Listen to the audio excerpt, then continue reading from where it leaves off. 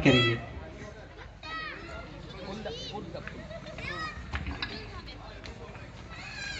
झाला का तुमचा डान्स झाला चला नाश्ता हा बस. कोणताही कार्यक्रम करणं मराठीत बोलू हिंदी? कोणताही कार्यक्रम करणं कठीण असतं. सगळ्या कार्यक्रमामध्ये किंवा नाटकांमध्ये कलाकार आपली कला दाखवत असतो पण त्यामागे तायडे सरांसारखी लोक असतात हा स्टेज उपलब्ध करून देणं लाइट म्युझिक्स या खुर्च्या हा सगळा खर्च एकट्या माणसाने उचलणं कधी कधी कठीण होतं. तरी त्यांनी त्यांच्या अनेक संस्थेच्या रूपाने त्या काम करतात ते काम करतात. त्यांच्या मिसेस आर पी आयच्या शहराध्यक्ष आहेत.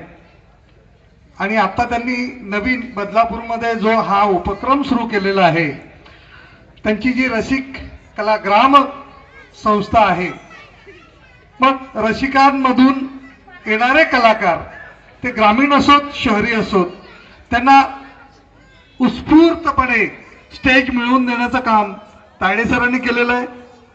मी त्यांचं अभिनंदन करतो. तसंच आज इथे जो परफॉर्म केला ज्या कलाकारांनी परफॉर्म केला त्या सर्व कलाकारांचं अभिनंदन करतो. कारण का मी इतक्या लहान मुलांना म्हणजे मी स्वतः सुद्धा अजूनही स्टेजवर ज्यावेळी मी नाटकाला जातो किंवा माझं पात्र असतं नाटकात मी रोल करतो. अजूनही मी स्टेजच्या मागे खूप घाबरतो. आणि उलट अंक मोजतो. दहा नऊ आठ सात सहा पाच चार तीन दोन एक. कारण का स्टेजच्या समोर असलेले प्रेक्षक पाहून घाम फुटतो. पण आज मी या मुलांना पाहून मला खूप आनंद झाला की त्या मुलांना चौथी तिसरी दुसरी एकदम लहान मुलांना सुद्धा स्टेजवर बिंदास काही भीती नसताना फक्त गाणं. एका लहान मुलीचं तर इतकं गाणं पाठ होतं. म्हणजे तिची आई तिला समोरून सांगत होती की हवं कर. आणि तिचं गाणं तोंड पाठ होतं. ती स्वतः डान्स करत होती. खूप बरं वाटलं. मी शेखर सरांचं पुन्हा एकदा अभिनंदन करेन की त्यांनी कमी वेळामध्ये म्हणजे तायडे सरांनी सांगितलं की बाबा आपण इथे एक अभिनय अकॅडमी डान्स अकॅडमी सुरू करूया. आणि मी सव्वीस जानेवारीला त्याचं उद्घाटन करेन. बदलापूरमधील अनेक कलाकारांना आपण मार्गदर्शन करूया. आणि त्यासाठी ही डान्स अकॅडमी ओपन झालेली आहे. आणि मला वाटतं की सर्व बदलापूरकरांनी आपल्या पाल्यांना स्टेज मिळवून देण्यासाठी तायडे सरांनी जो हा उपक्रम सुरू केलाय त्यामध्ये सगळ्यांनी सहभाग घ्यावा. आणि हा उपक्रम असाच सतत चालू राहावा.